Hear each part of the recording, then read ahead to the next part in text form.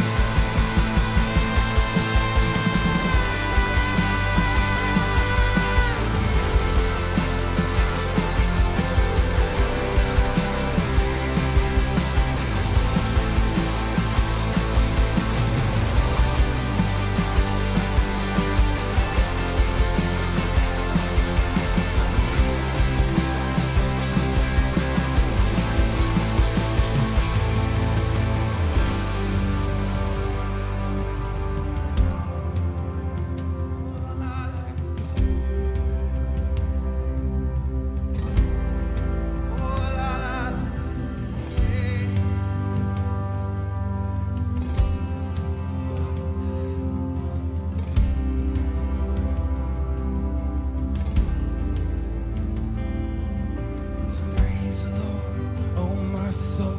Let everything within me bless his name. Praise the Lord, oh my soul. Let everything within me bless his name. Praise the Lord, oh my soul. Let everything within me bless his name. Praise the Lord, oh my soul. Let everything within me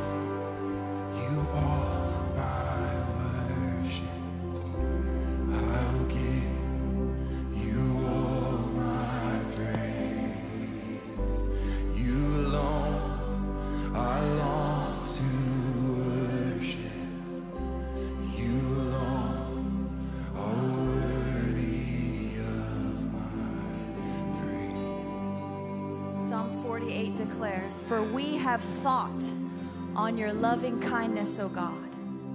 In the midst of your temple, as is your name, O God, so is your praise to the ends of the earth, and your right hand is full of righteousness.